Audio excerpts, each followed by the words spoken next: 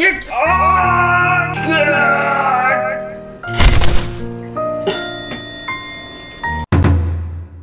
はいということでこちら見てください。これビデオじゃね伝わりにくいかと思うんですけどめっちゃ速いです。超高速で回っているベイでございます。最強のベイ見つけてまいりました。バーストもしないし永遠に回り続けております。ということでですねはい。買ってきたベイブレードとこの最強のベイを戦わしたいわけですけどもちょっとね聞いてください。僕がねちょっと昔、えー、高校生ぐらいの時かなイオンのこうおもちゃこう見てたらおもちゃコーナー見てた時ベイブレードがこうね置いてあったんですよね。バーストじゃないですよ。その時バーストはありません。懐かしいなと思ってこう見たんですよ。そしたら50%オフかな？いやもっとだったらいい気がする。60%70%80% オフぐらい。すっごい値下げされてたんですよ。それぐらいベイブレードって捨てれちゃったなっていうああそこまでいっちゃったんだ。もう生産とかしないんだろうなっていう風に思ってたらもう一気にこうバーストがこうドンってこう来て今の時代はねすごいんでしょうね。トイザラスの真ん前に置いてありました。で僕全然わかんないからトイザラスにいた子供ちゃんに聞いたんですよ。どれがいいかなって一番強いの欲しいんだけど。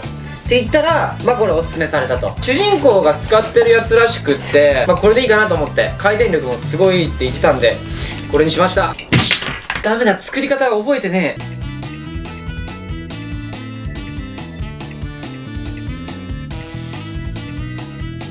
できた。これでいいのか？これでいいのか？ちょっとグラグラしてるけど。これでいいのか？よしよしよしよし。できたできたできたできた。いやしかしかっこいいな最近のベイブレードは。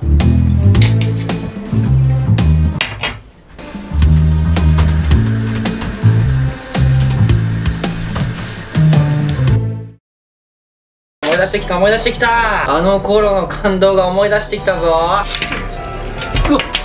うわいていっていってやっば。これもう互角な戦いするでしょ。絶対互角。はい見てください。このずっしりとしたボディそしてこのコンパクトにスピンだけを求めたこの最強のボディでございます。そしてこのベイの一番最強なところは回り続けるということですね。もう一度回り出したら止まることはありません。こいつの勢いは誰でも止めることはできない。そうだから僕はこのベイで挑むしかない。どちらが勝っても負けてもおかしくないこの試合。俺は絶対勝ってみせる。近未来型ベイ。VS 次世代型。ベイ。ゴーシュー